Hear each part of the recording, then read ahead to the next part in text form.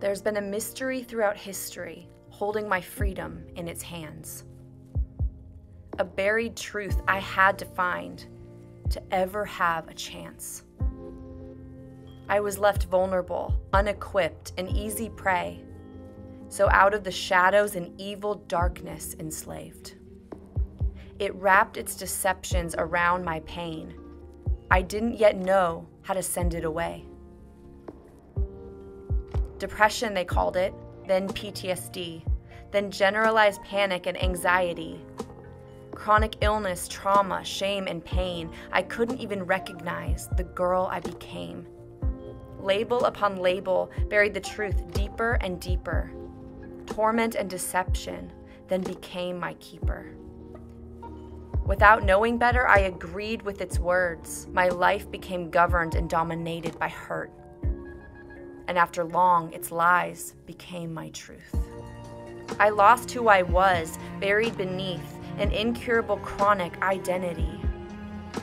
There was a night I thought I'd lose, but the fight rose up and I had to choose.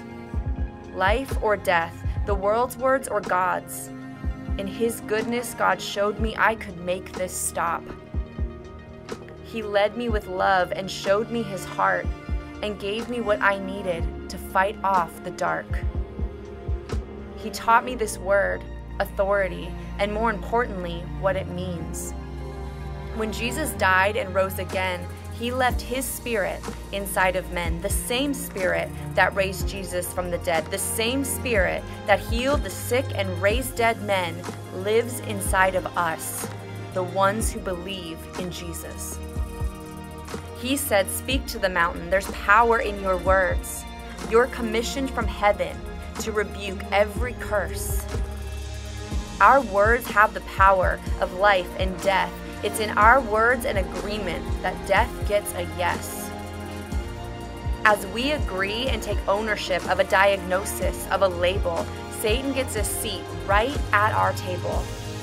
He feeds us the lies and watches us agree until that diagnosis becomes our identity.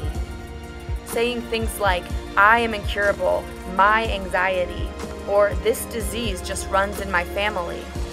Our words become the catalyst of our own calamity. When I learned my thoughts were under attack, I made the decision to stand up and fight back. I used the name of Jesus and rebuked every evil thing, all the dark thoughts with the lies they would bring. If you know and follow Jesus, here's the truth you must know. You've been given power to make all darkness go.